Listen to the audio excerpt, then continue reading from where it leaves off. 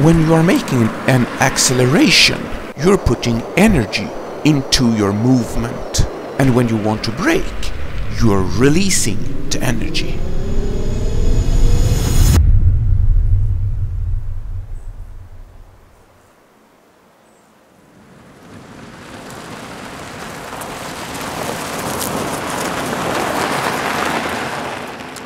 Welcome to this episode of My Nissan Electric.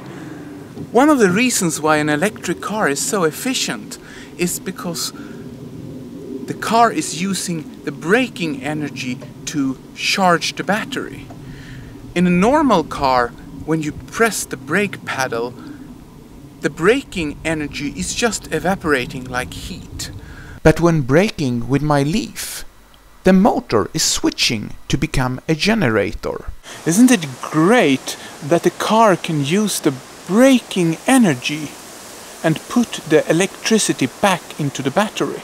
But the question that comes up now is, does the electric car don't have any normal brakes? Yes, of course it has, but it's only used when it's necessary, when the car is not able to catch all the energy that is released from the braking.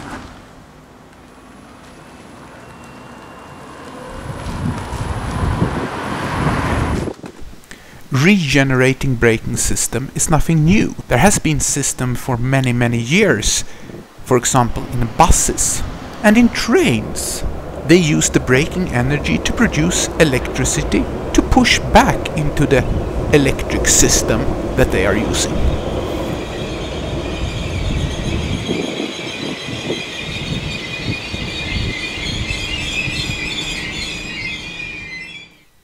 But back to the electric car. But how does it work when the battery is full? Well, the regenerating system will not work, and the normal brakes will be applied.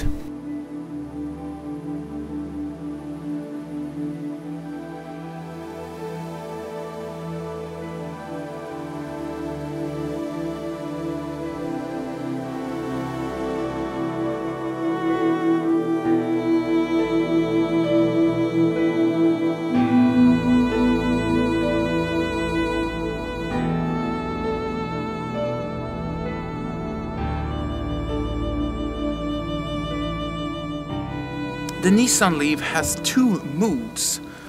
It has the normal drive mood and the B or so-called braking mood. When using the braking mood, the car automatically brakes as soon as you release the gas pedal. And but it's not using the normal brakes, it's using the regenerating braking system.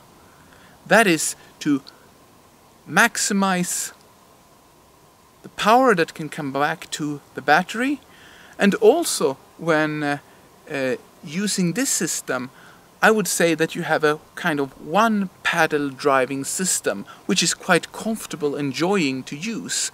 In general you're using just the uh, gas pedal and use it as a brake pulling the uh, gas pedal up a little bit when you want to brake and press it down when you want to drive quicker and if you drive very carefully you only need to use the normal braking paddle in an emergency.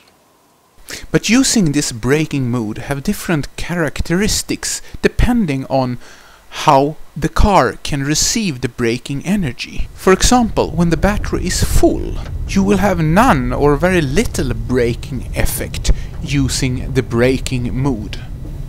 The car's way of telling you how much braking effect you have using the braking mode from the regenerating braking system is by those rings.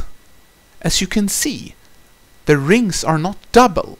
That's because the battery is completely full and there is no place to put any braking energy into the battery.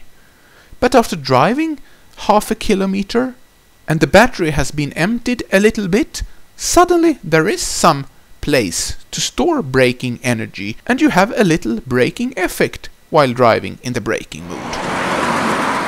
But how much is actually the car gaining from this braking energy? Here an example. During this month I was driving 1885 kilometers.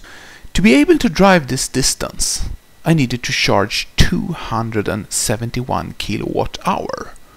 But the car consumed full 317 kilowatt hours. That means that I regained from the regenerating braking system the full 46 kilowatt hours. That's quite a lot.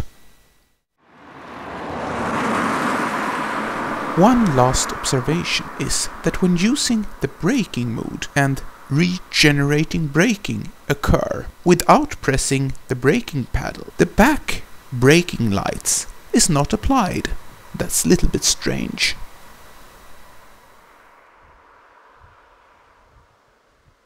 On the next episode of... Oh, shh, shh, shh! Listen, listen! Can you hear the car? Something that we as an electric car owner loves. Here.